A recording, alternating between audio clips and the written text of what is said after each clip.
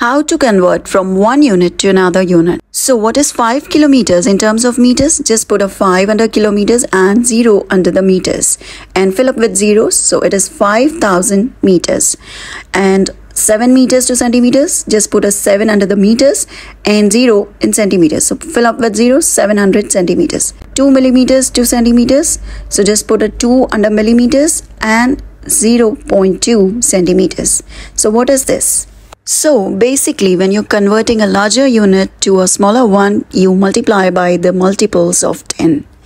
And when you're converting a smaller unit to a larger one, you divide by the multiples of 10.